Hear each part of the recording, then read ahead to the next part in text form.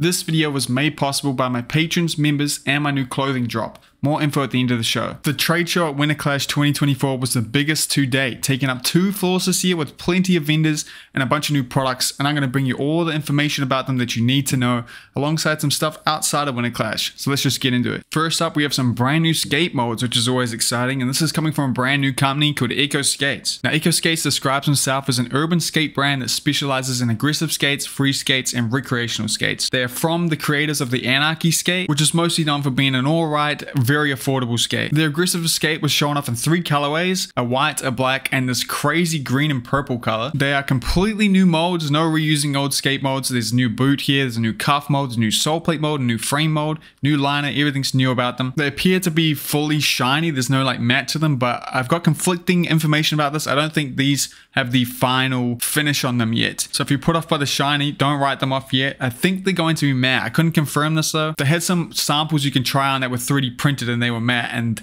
it definitely is a different vibe. The cuff is apparently three-step adjustable. I couldn't see how this works, but that's how they describe it. The frame looks to be very much inspired by a Crate original frame, and it looks to be very much an anti-rocker setup. If you skate this flat, you're gonna have a really hard time just by looking at it. They plan to release these skates in spring for the price of 250 US dollars for a complete setup which is a great price. Moving over to their free skates, this is also a completely brand new mold. It's different to the aggressive skate, and they have a couple new frames at different ride heights and a brand new mounting system. The way the frames are mounted, they seem to slide in before screwing in. And the advantages of this is apparently you get a lower ride and a more secure, responsive feel. All their skates are GRS certified, which apparently means they're at least 30% recycled plastic. And that's everything we know so far. I'm looking forward to seeing if there's any plan for like a skate team or any edits. They have a little montage skating a pee around the skates down. They look quite nice, but I'd love to know what you guys think of the aggressive skates and the free skates. Let me know in the comments, you know. The next new skate we got was from IQON, and it's their first ever pro skate, and it's for the owner Montre Livingston. And there's two. There's not just one colorway, there's this beautiful cream colorway as well as this nice black colorway. Now this is kind of a new skate. They're calling it the AG15, which is kind of an advancement of the AG10, which is their premium carbon skate. The changes they've made to the skate include they've now ditched the 45 degree strap and instead put a second tongue, giving it that very old school vibe. They also changed the lacing a little bit to give it a little bit more wide fit, and in Montre's word to make it look more like an old fat skate shoe. I assume the main reason for the name change of this boot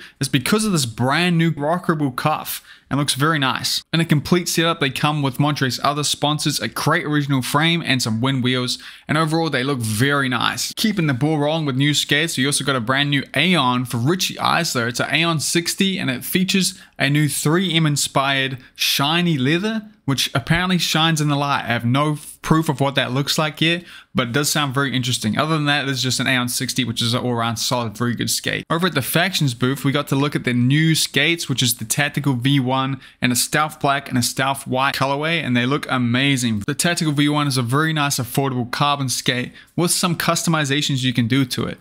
Now, this isn't all the news about Faction. I'll, there's some more that's outside of Winter Clash that I'll talk about at the end of the show. Over at the Roces booth, though, we got a look at the new Roces M12 Namikaze Yuto Goto signature skate, which is inspired by denim and is this nice light blue colorway and looks amazing. It also features the brand new Roces frame, which is a huge upgrade from their normal stock one. We also got another look at the Roces deep purple Nils Jansons signature skate, and I got some new info about them that I didn't realize, and that is that apparently there's like a glitter effect to the purple when you look at it in the light, which is a very nice touch. They also feature those new Roces frames, and I'm pretty sure they're the first ones to come with the new Roces frame stock when you buy them. Speaking of Nils Jansons, over at the Cymatics booth, we got to see his brand new Pro wheel by them alongside the new Julien Cudot wheel. And while we're still talking about Nils, I gotta mention his new Magic Boots video because it was ridiculous. This freaking fish to backside backside transfer was like video game shit. And also Cudot's promo for these wheels is amazing as well, an absolute must watch watch, make sure you watch those ones. They will be linked in the description. And while we're on the wheel train, you got to talk about the scooter company that's making a metal core wheel for inline skates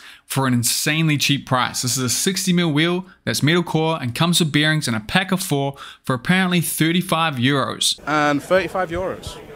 35 euros for like a wheel with bearings? Wheel, a four set with bearings. Metalcore. Wow. Although when I went to try find them on their website, they were like $50. So I don't know what's going on there. I am New Zealander though, and my dollar is not very relevant. So I might just be out of the loop on conversions there. Over at the Powerslide booth, they were showing off the Kizer Soul frame and the Kizer suspension frames, which were actually showing off in last year's Winter Clash, but that's still not here.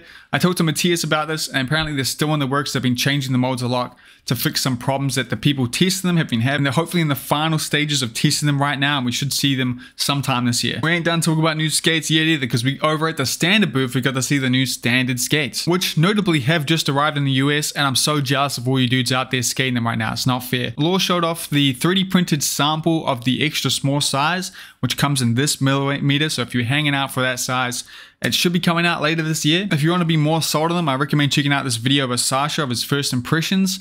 And also look how cool they look here when Dylan Hops set up here where he's customized the stripe and the cool clips you got on them. These skates look amazing. I can't wait for mine to arrive, man. It's going to be so cool. Moving over to the Red Eye booth, they have four new wheels for us. Three of them are new colorways. We got a new colorway for the Michael Witzman, new colorway for the Chris Farmer, and a new colorway for the Jake Dotson. And most excitingly, a brand new team member, which is Hayden Ball, with a brand new profile wheel, which is a tapered down 58 mil, almost skateboard looking wheel. Very flat, very stable looking. Another really cool tool spot of that Winter Clash was this bearing aligner tool made by Kip Blader Derek. It's a kind of bullet shape that you screw onto the end of your axle that makes it so much easier to line up. You're no longer going to be blocked by that bearing space. It's a genius idea, very easy, and I think will save you a lot of time if you're changing setups a lot. Outside of Winter Clash, some other products to note. First up, Mery Munoz got another Pro Skate, her second one. It's this beautiful yellow Aeon 60, shown off very well by Jake from Loco in this yellow bus. Massive congrats to her for her second Pro Skate from USD, and also because she won Winter Clash 2024, which is huge. Another exciting brand new company in skate is coming from the Everything New company and they're making a skate called the TNEC 58, which is supposed to be a budget skate coming in complete setup for 220 US dollars. Supposed to be a great deal for skate shops. Be aimed a bit more at beginners, but also be fine for the core rollerbladers. And most importantly, it is a sole frame setup, a riveted on soul frame, which I absolutely love the idea of. It's early days now. The first samples are getting made for people who pre-ordered some frames earlier. It's based on an old open mold and looks to be an exceptionally good budget scare. Can't wait to see more from it. Friend of the show, Jan from the YouTube channel Then and Now Blading, alongside a bunch of other monumental parts of rollerblading, has just launched his own brand called Dream Eurothane and it's not only filled with a bunch of brand new wheels that look amazing and some new merch and products, it also has a dream team. With just in the pro team, we have Michael Kraft, be Free, Andrew Broom, and Maddie Schrock, alongside a really solid amateur team with some of the people I love to see skating like Victoria. They've already released a promo edit for these wheels, which is a very good watch, definitely recommend it. Massive congrats to Jan for this achievement here. I'm excited to see more from this brand. Coming from the company that gave us the verb for doing our sport, Rollerblade has a brand new liner they're releasing called the Nomad liner, which is heavily inspired by the Intuition liner, looking to be a good competitor for that liner. Powerslide released the best value for money aggressive skate I have ever seen with the new Playlife Reactor skate. It's an old sway mold with the old sway sole plate and a Kizer Fluid 5 for 149 US dollars complete. Having a skate this good at this price range is so good for blading and anyone wanting to get into blading. This would be an easy recommendation and just an insane value for money. Huge props to Powerslide for making this product. If you're in the market for some bearing oil and are sick of supporting skateboarding companies over rollerblading companies, then I have a rollerblading company that's making the perfect product for you. Some bearing oil alongside some brand new shirts and stuff coming from Ultimate Zero. Definitely check them out. Friend of the show. Loco Skates are also planning to make some skates with a similar idea to the TNEC skate, supposed to be a budget point sole frame skate, which is very exciting. Loco is a huge, really good skate shop that has great inside knowledge, and I can't wait to see what they do. There's a couple more skates to talk about though. The first one is we're coming back to Faction, because a while ago they did Loki leak that they're working on a plastic boot, and it's going to be called the Plastic V1. And it's going to be fully integratable with all their other parts, the cuffs, the sole plates, and there's going to be seven shelves. We're still in the works, not ready for everyone to see yet, but it's only a matter of time now. And I can't wait to see what they do as well. Believe it or not, there's actually two new skates uh, brands I got to tell you about.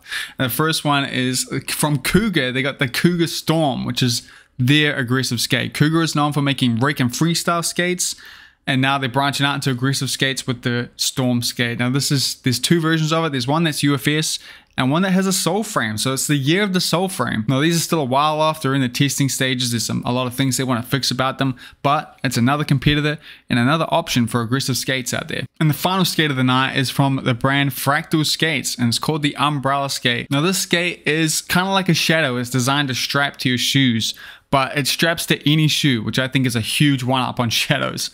It's extremely customizable, including you can choose the groove you want to have on the sole plate or just have no groove and make your own. And overall it's a very interesting, very DIY project that looks very cool. I'd love to see more from this brand, definitely check them out if you're interested. Everything I mentioned today is linked in the description. Make sure you check it out if you're curious about anything. I'd love to know what you're most excited about. Huge congrats to Mery Munoz and Niels Jans for winning Winter Clash 2024. Let me know if you want to see some coverage of the skating and the event side. If you found this video useful, consider pressing the like button and subscribing for more videos like this. If you want to support what I'm doing, consider becoming a patron as well. I cannot do this without the support of my patrons. I also have a brand new clothing drop at my brand Laced NZ, which features some new shirts, some new sweatshirts, and my first ever pair of pants. They're elastic weights, black corduroy pants. They're extremely limited. I did a very small run because I don't know how this is going to go. I'd recommend going up a size to get it more of a baggy fit, but I think you'll like skating them. The first 10 orders get this exclusive golden swing tag on all the items they get. It's a it's a gold sticker, and it's the only way to get this. Otherwise, you get the normal boring swing tag. And if you use the code WinterClash2024, you get free shipping with no requirements, but there is only one, so you have to hurry. Other than that, if you spend 100 New Zealand dollars, you get free worldwide shipping. But anyway, thanks for hearing me out, and thanks so much for watching. I hope you get to go for a skate today. Do it if you can. And yeah, I'll see you guys later on. Peace out.